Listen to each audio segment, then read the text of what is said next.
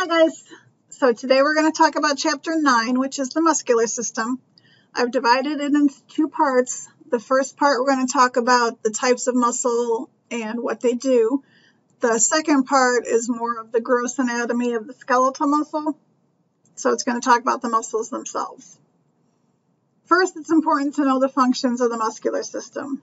Of course, we know that it is body movements but it also helps maintain our posture and produces heat. So when you go outside and it's cold and you're shivering, that's your muscles contracting to actually produce heat. There are three main types of muscle, skeletal, cardiac, and smooth. Cardiac and smooth muscle, we're going to talk a little bit about at the end of this, but we really focus on cardiac muscle in the heart and smooth muscle in the digestive tract so this lecture is going to focus mostly on skeletal muscle. Skeletal muscle is voluntary, which means it's consciously controlled, so we can move when we want. It's attached to the bones of the skeleton and it is not branched. It is striated, which means that there are stripes in it. Cardiac muscle is the heart. It is involuntary, so it's not consciously controlled, so we don't have to tell our heart to keep beating, which is probably a good thing. It is branched though, which is a big difference between cardiac and skeletal muscle. And it is also striated. Smooth muscle is in the walls of the internal organs, like the digestive tract. It is again involuntary, so we don't have to tell our stomach to start digestion. But a big difference between smooth muscle and the other two, it is not striated. Skeletal muscle attaches to the bones and the skin of the face. Again, it's voluntary and a skeletal muscle is actually an organ of the muscular system. Skeletal muscles are composed of more than just skeletal muscle tissue. They also have nervous tissue, blood, and connective tissues. The connective tissue cover some of the skeletal muscles. Fascia cover a lot of the muscles themselves. Tendons, as you can see in the picture, connect muscle to bone.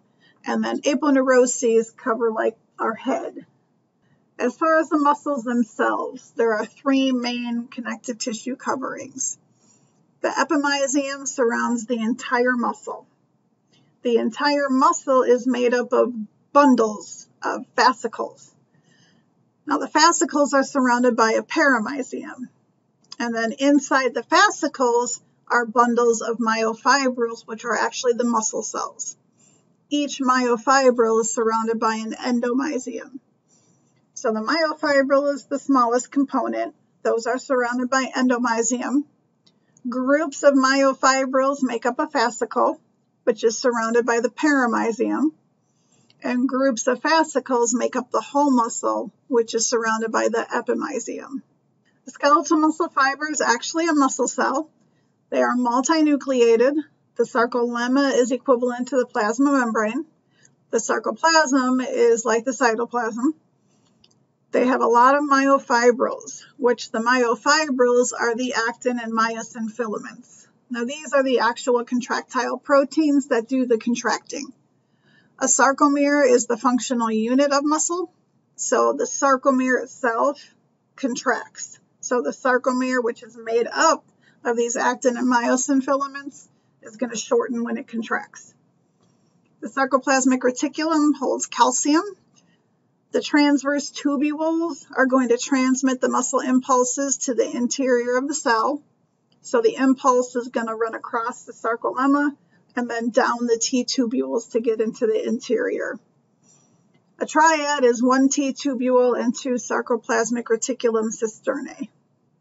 The myofibrils consist of the sarcomeres connected end to end. So a sarcomere again is the functional unit, so that's what does the contracting and there's a bunch of them end to end that make up the myofibril. The striation pattern is going to be based on the myofilaments that are inside. The sarcomeres contain an I band, which is made up of thin filaments, an A band, which is both thick and thin filaments, an H zone, which is thick filaments, a Z line, or often referred to as a Z disc, and an M line.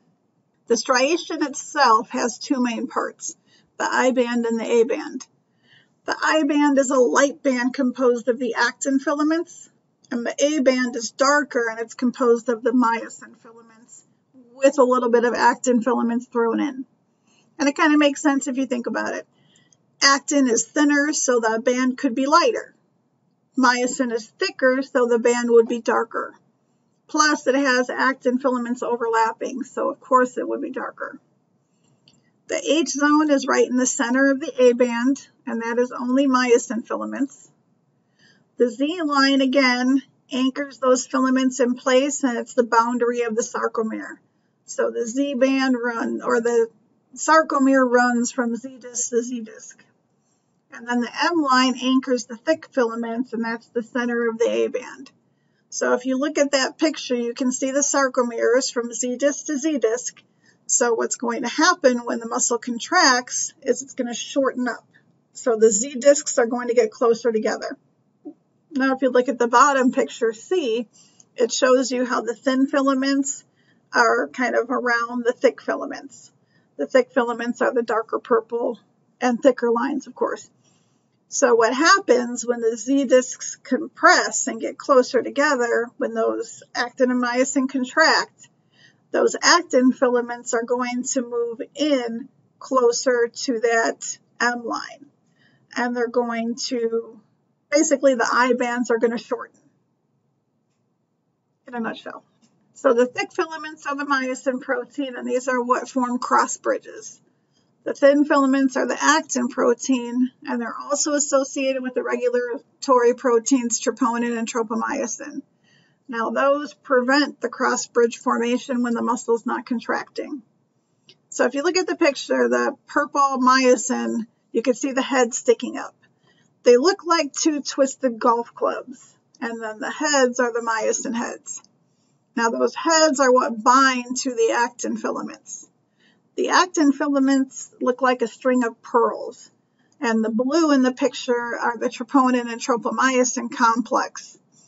So what happens when the muscle is not contracting? The troponin tropomyosin complex blocks the binding site. Once the muscle is going to contract, the troponin tropomyosin complex moves out of the way and opens up the binding site so that the myosin head can fit right in there and bind. Contraction actually requires a bunch of chemicals and cellular components, and it results from a movement within those myofibrils. So the actin and myosin filaments slide past one, one another and shorten that sarcomere. The muscle fiber shortens and pulls on the attachment points. The neuromuscular junction is very important. The neuromuscular junction is the synapse, which is the functional connection between the neuron and the muscle. It's also called the myoneural junction. But whatever you want to call it, it's the site of where the axon of the motor neuron and the skeletal muscle fiber interact. So the motor neuron is going to come down, and then the axon terminals are going to kind of sit in that synapse. So the area between the axon terminal and the muscle is going to be the synaptic cleft. Skeletal muscle fibers contract when they're stimulated by a neuron. So the parts of the neuromuscular junction are the motor neuron, the motor end plate, the synaptic cleft, the synaptic vesicles, and the neurotransmitter. So if you look at that picture up there, you can see that axon terminal of the motor neuron sitting inside the synapse. So again, the synapse is that functional connection between the two inside of the motor neuron, you're going to have little synaptic vesicles filled with the neurotransmitter acetylcholine. When the, the action potential travels down the motor neuron, so when that impulse comes down the motor neuron to the axon terminal, acetylcholine is going to be released. It's going to diffuse across the synaptic cleft and bind to the receptors on the muscle cell. From there, that's going to initiate the impulse to travel down the sarcolemma, eventually to go down the T tubules and initiate a contraction. Acetylcholine is the neurotransmitter, as I said. That nerve impulse is going to cause the release of acetylcholine from those synaptic vesicles. The synaptic vesicles bind to the acetylcholine receptors on the motor end plate of the muscle cell. The acetylcholine is going to change the membrane permeability to sodium and potassium, which is going to generate the muscle impulse or action potential. The impulse causes the release of calcium from the sarcoplasmic reticulum, which is going to eventually lead to a muscle contraction. Myasthenia gravis is an autoimmune disorder where antibodies will actually attack the acetylcholine receptors on the skeletal muscle fibers in the neuromuscular junction, so they won't be able to contract. The person may have only one third of the normal number of acetylcholine receptors. So that's going to lead to a lot of muscle weakness and fatigue, and it's going to be widespread. Treatments you can use a drug that inhibits acetylcholinesterase. Acetylcholinesterase, ASE, should tell you it's an enzyme, and what it does is that stops the breakdown of acetylcholine.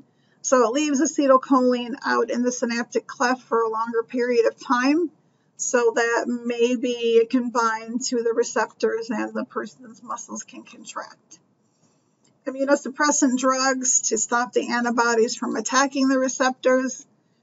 Administering antibodies that are going to inactivate harmful antibodies or plasma exchange to try to totally change them out. Muscle contraction is going to rely on excitation contraction coupling. This is the connection between the muscle fiber stimulation and the actual contraction.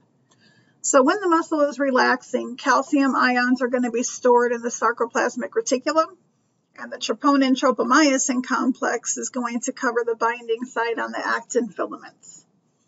Once the muscle is stimulated, the muscle impulse is going to cause the sarcoplasmic reticulum to release calcium into the cytosol.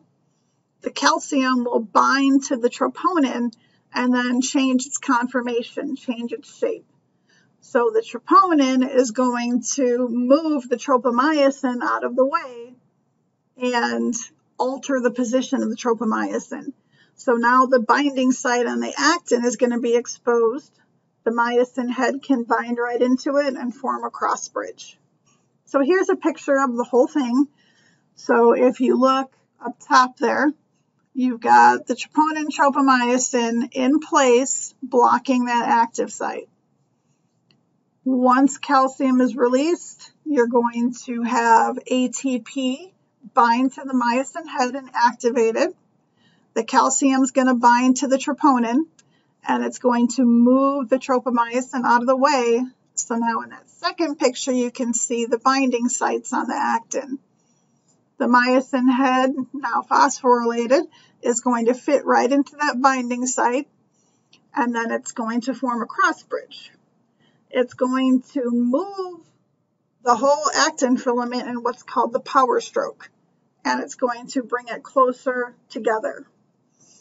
Then it's going to detach Another ATP will have to come in, phosphorylate myosin head. Myosin head is going to attach, form the cross bridges, pull it in in the power stroke, and then detach. And this has to happen the entire time for a continued contraction. So ATP comes in, binds to the myosin head, calcium binds to the troponin to move the tropomyosin out of the way. Myosin binds to the actin, pulls it forward in the power stroke, detaches. Another ATP has to come in, bind to the myosin head. It will attach to the actin, pull it forward, detach, and that will just continue to happen until the contraction is over. The sliding filament model of muscle contraction just refers to the fact that the sarcomeres are shortening and the thick and thin filaments are actually just sliding past one another. The H zones and the I bands are going to narrow and the Z lines move closer together. The thick and thin filaments do not change length themselves. It's just the overlap between the filaments that increases. So if you look at the top picture there, that is a muscle at rest. So the Z lines are pretty far apart. There's room to slide with the actin over the myosin. In the second picture, it's starting to contract, so the Z lines are closer together. The actin and myosin are starting to overlap more, and that H zone is very narrow. And in the bottom one, that's a fully contracted muscle where the Z discs are as short as they're going to get. They're as close together as they can get. The actin and myosin filaments are as overlapped as they're going to get. And that H zone is almost non-existent. So you have to remember that the actin and myosin filaments aren't changing length. They're just sliding over each other. So the sarcomere is contracting. The Z lines are getting closer together, so the whole sarcomere is shortening, but the filaments themselves do not change length. They just slide over one another. So just picture it like normally they're here, and now it's going to contract, so they're going to slide over one another. So cross-bridge cycling just explains the process of what's going on. So the myosin head attaches to the actin binding site, forming that cross bridge. The myosin cross bridge pulls the actin towards the center of the sarcomere. ATP is going to be needed for every time we want this to happen because the ATP is going to phosphorylate the myosin head and then it's going to activate it basically to attach to the actin filament, form that cross bridge and pull it over. So, myosin head attaches to the actin binding site, forms the cross bridge, pulls the actin closer to the center. ADP and the phosphate are going to be released. A new ATP comes in, binds to the myosin. It's going to link to the actin and form the cross bridge. ATP is going to split. The myosin cross bridge goes back to the original position. So again, a lot of ATP is going to be necessary for contraction to happen. So calcium is needed because calcium has to bind to troponin so that tropomyosin can get pulled out of the way. ATP is needed for every power stroke. So ATP binds to the myosin for the power stroke, and then it's going to be released. So a new one has to come in for the next power stroke. Once the neural stimulation of the muscle fiber stops, it needs to relax. So here's where that acetylcholinesterase comes in, which again, remember that's an enzyme and it's going to decompose any remaining acetylcholine that's left in the synapse. The muscle impulse stops once the acetylcholine is decomposed. The stimulus to the sarcolemma and the muscle fiber membrane is going to stop. The calcium pump is going to actually pump calcium back into the sarcoplasmic reticulum the troponin tropomyosin complex is going to go back into its original position and cover the binding site on the actin. And the myosin and actin binding are now stopped so the muscle fiber can relax. So, in a nutshell, what happens? Initially, the nerve fiber is going to bring the action potential down the axon to the axon terminal. That's going to signal the synaptic vesicles to release acetylcholine. Acetylcholine is going to diffuse across the synaptic cleft and bind to the receptors on the motor end plate. That's going to carry that muscle impulse down the sarcolemma, down the T tubules. As it's going down the T tubules, that cues the sarcoplasmic reticulum to release calcium. The calcium is going to go and bind to troponin. Troponin will move the tropomyosin out of the way, so now the active sites are going to be open. ATP is going to come in, bind to the myosin head. It's going to phosphorylate it. That activates the myosin head to bind to the actin. It's going to do a power stroke and pull the actin in towards the center of the sarcomere. So now the filaments are going to start to slide across each other.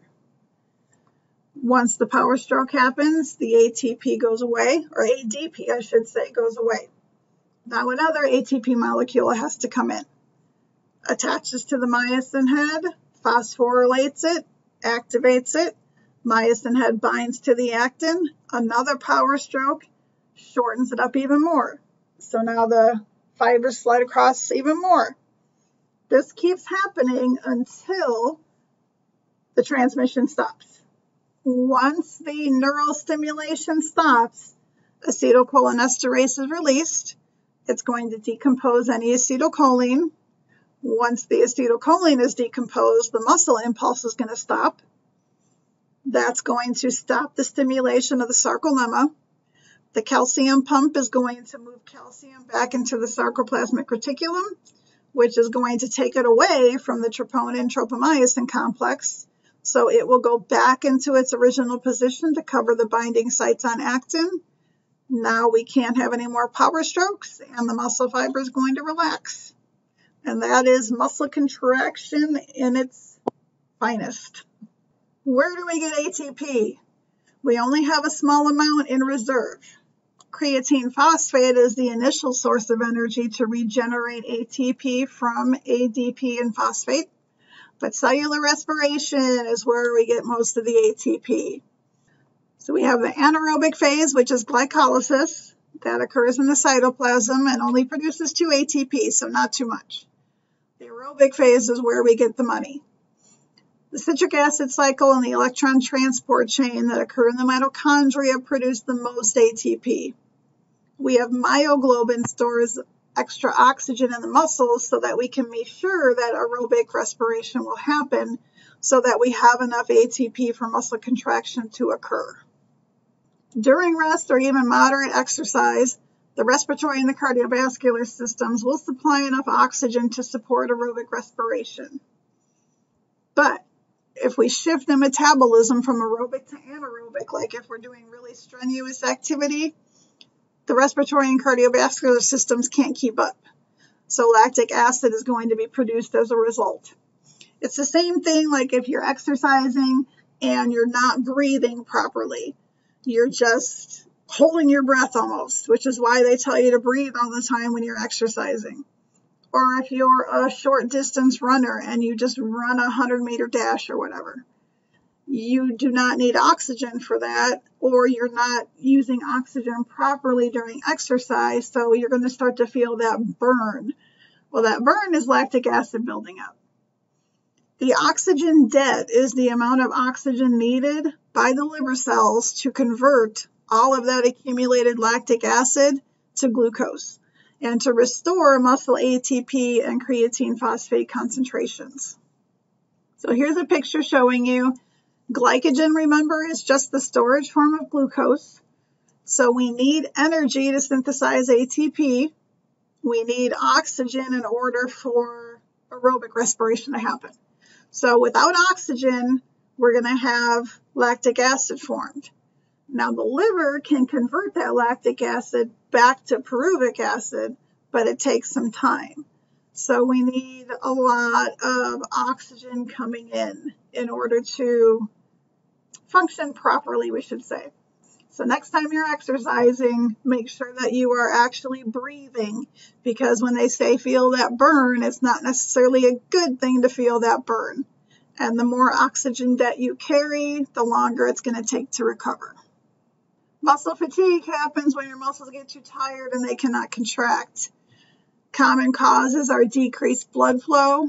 If you have an ion imbalance across the sarcolemma, loss of desire to continue exercising, or an accumulation of lactic acid, which is kind of a controversial thing.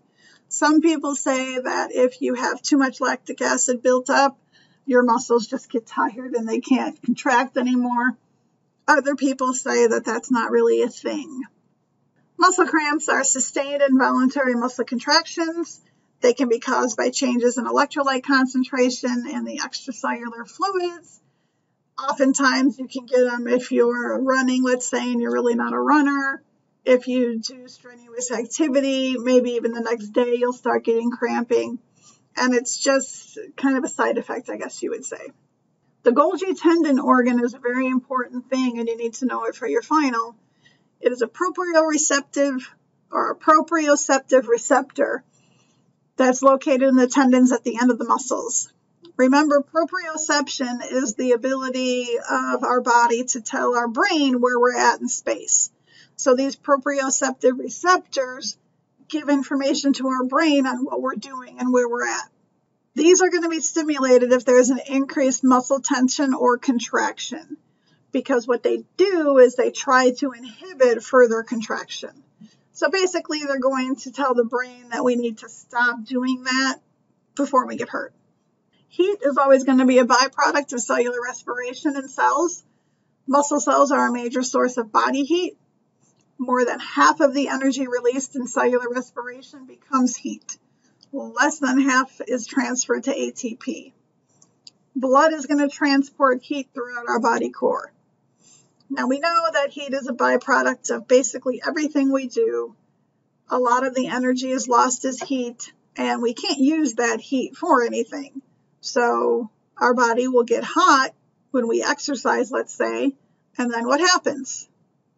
We sweat trying to get rid of that heat. Muscle contraction can be observed by removing a single skeletal muscle fiber and then connecting it to a device that's going to basically record changes in the overall length of the muscle fiber. Electrical stimulator is going to promote the contractions. So you can actually take just one single skeletal muscle fiber and connect it to stimulators and watch it contract. Kind of cool. The threshold stimulus is the minimum strength of stimulation of a muscle fiber required to cause contraction. So basically, that's just what it takes to get the muscle fiber to contract. How much of a stimulation does it take? When the strength of the stimulus reaches that threshold, the action potential is going to be generated. The impulse will spread through the muscle fiber, which again will release calcium from the sarcoplasmic reticulum and activate that cross bridge formation. One action potential from a motor neuron releases enough acetylcholine to produce this threshold stimulus in muscle fiber, causing a muscle impulse. So, motor neurons basically release enough acetylcholine to sustain a contraction, is all that's saying. A twitch is a contractile response of a single muscle fiber to a single impulse. It goes through a latent period, then a period of contraction, and then a period of relaxation. So once it's stimulated, that latent period is kind of like the time it's taking for the acetylcholine to get there, for the impulse to get there, and for them to actually start contracting. Then it will contract, and then it will go through a period of relaxation. The length of the muscle fiber before stimulation is going to determine the amount of force that can actually be developed. Optimum starting length is the resting length of the muscle fiber. That allows the greatest force to be developed. Stretched muscle fibers develop less force because some of the myosin heads aren't going to be able to reach the binding sites on the actin. Shortened muscle fibers also develop less force because they're already compressed so they can't get any shorter. So optimal length is the resting length. You're going to have a pure contraction. If it is already shortened, well, now it has nowhere to go. It can't compress more. It can only compress as much as it can compress. So if it's overly shortened, you're not going to get as strong as a contraction because it's already in the partially contracted state. On the other hand, if it's stressed, same thing. You're not going to get as much strength because now that it's stretched, well, some of the myosin isn't going to be able to bind. So your power stroke isn't going to be as powerful. Summation happens when individual muscle fiber twitches combine. These produce sustained contractions and can lead to partial or complete tetanic contractions. So basically what happens is you have these muscle twitches if they happen close enough together, they're going to combine and sum up to be a sustained contraction.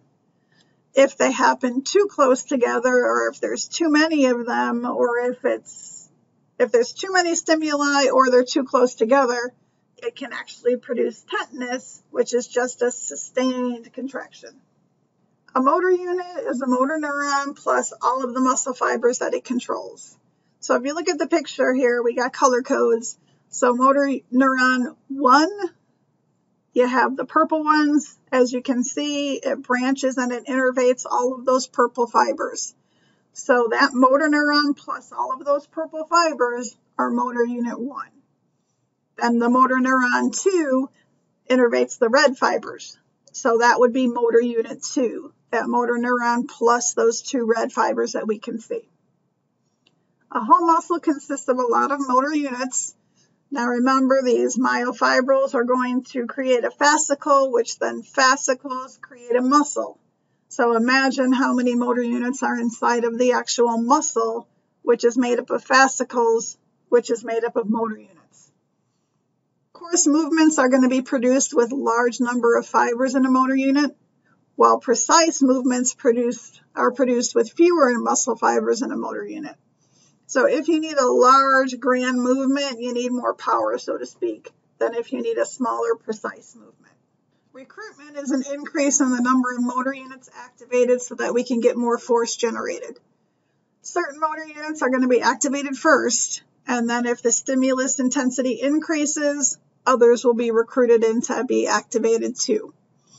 So as the intensity of the stimulation increases, motor recruitment is going to continue until we have all of the motor units activated and we can't increase it anymore.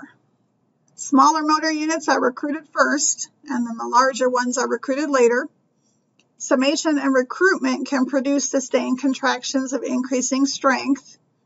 Whole muscle contractions are actually smooth movements. Muscle tone is a continuous state of partial contraction in our resting muscles. Now, everybody has different muscle tone. Those people who are in better shape have a better muscle tone than those who are not in shape at all. So the tone we have is just that constant state of partial contraction our muscles are in. We have different types of contractions. Isotonic is when the muscle contracts and changes length, but with an equal force. And then there's two types of there.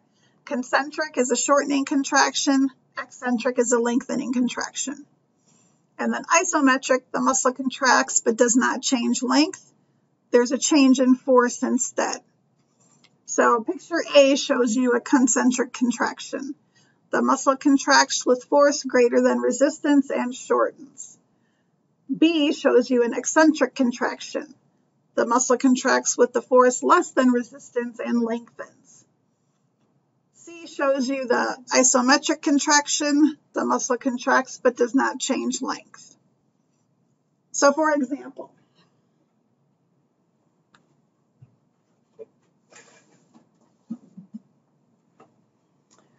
I have this book. If I'm going to move this book up and down, that's an isotonic contraction. Moving it up is concentric. Moving it down is eccentric. But if I'm just going to stay here and hold this book, so like I'm just holding this book, I'm not moving at all, that's going to be an isometric contraction. Okay? Hopefully that helps. We also have different types of fibers. We have fast twitch and slow twitch fibers. Slow twitch fibers are type 1. These are always oxidative. They're resistant to fatigue, they have abundant myoglobin. There's a good blood supply with a lot of mitochondria, which explains the abundant myoglobin, and slow ATPase activity. So they're very slow to contract. Fast twitch fatigue resistant fibers are type 2A. These are intermediate twitch fibers. They have an intermediate oxidative capacity with an intermediate amount of myoglobin they're resistant to fatigue, but they have rapid ATPase activity. So they have less oxidative capacity and myoglobin than slow twitch fibers, but their ATPase activity is faster. Finally, fast twitch glycolytic fibers are type 2B. These are anaerobic respiration fibers, so glycolysis.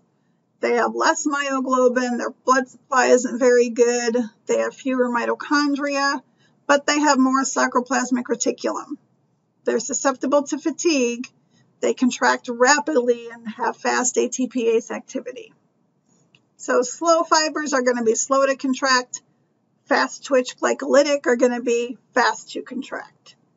But then the fast twitch are fatigue resistant fibers. So you've got basically your slow twitch fibers, which are slow to contract, and then you have two different types of fast twitch fibers, which are going to be faster to contract. You have glycolytic, which are your anaerobic, and you have fatigue resistant, which are aerobic. Problems. If we do not use our skeletal muscles, they can atrophy, which means they decrease in size and strength. If we use them a lot, like we exercise, it causes hypertrophy, which is an enlargement of the skeletal muscle. Aerobic exercise is going to stimulate those slow twitch fibers. In response, the fibers are going to increase their blood supply and mitochondria for their myoglobin supply. Forceful exercise stimulates mainly fast twitch fibers. In response, those fibers are going to produce new actin and myosin filaments and the muscle is going to enlarge. So aerobic exercise is going to stimulate your oxygen capability and your blood supply.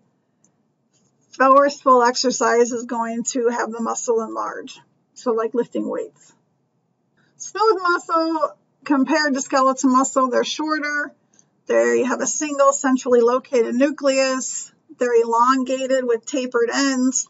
The myofilaments are just random. They don't have striations or transverse tubules, and the sarcoplasmic reticulum is not very well developed. There are two types, multi-unit and visceral. Multi-unit are less organized. They function as separate units. The fibers function independently. These are going to be found in like the iris of the eye and walls of blood vessels. And these are stimulated by neurons and hormones. Visceral smooth muscle is single unit smooth muscle, so the cells respond as a unit. There are sheets of spindle fiber shaped muscles. The fibers are held together by gap junctions which remember gap junctions are communicating junctions, so ions can pass through, which allows them to function as a unit. They exhibit rhythmicity, which just goes back to them functioning as a unit. They conduct peristalsis, which is just a specialized movement where alternating groups of muscles will contract and relax. So it's like squeezing a tube of toothpaste. These are in the walls of most hollow organs and the more common type of smooth muscle. It resembles skeletal muscle contraction because there's that interaction between actin and myosin, and both use calcium and ATP and are triggered by the membrane impulses. But smooth muscle does not have troponin. Instead, it uses calmodulin. So there is a calcium calmodulin thing going on. The two neurotransmitters that affect it are acetylcholine and norepinephrine. Hormones can either stimulate or inhibit it. Stretching can also trigger smooth muscle contraction. Smooth muscle is very slow to contract and relax, but it is more resistant to fatigue. It can change length without changing its tautness at all. Cardiac muscle is located in the heart. It is striated. The muscle fibers are joined together by intercalated discs. Intercalated discs are basically gap junctions that allow the ions to cross over so that our heart can function as a unit. The fibers are branched, but they contain a single nucleus. The network again contracts as a unit, so syncytium. It is self-exciting and rhythmic, has a longer refractory period than skeletal muscle, which means that it takes longer to respond to another stimulus than skeletal muscle does. There aren't any sustained or tetanic contractions, which is a good thing because if there was, our heart would stop working.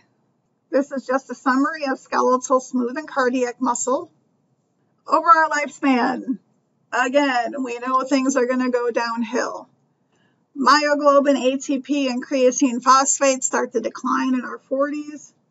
Connective tissue and adipose cells start to replace some of the muscle tissue and by age 80, almost half of our muscle mass has atrophied.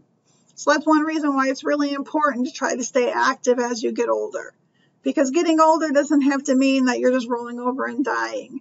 Getting older just means you're experiencing life. So stay active. Even if it's just a matter of parking farther away from Walmart and walking in, or taking a walk around your block, anything. Use the stairs instead of the elevator. All of these things can help you stay in a little bit better shape. Our muscle strength starts to decrease, our reflexes become slower, but again, exercise is going to help maintain our muscle mass and function. So exercise is really important to handling what's happening to us in life. It also is a very good way to get rid of stress. So exercise has so many benefits and it doesn't have to be really hard exercise. It can just be something like walking around the block. Walking around the block can actually help you clear your head. It can help you de-stress and it can help keep your muscles in shape. So take a walk and I will talk to you for the next chapter. Bye.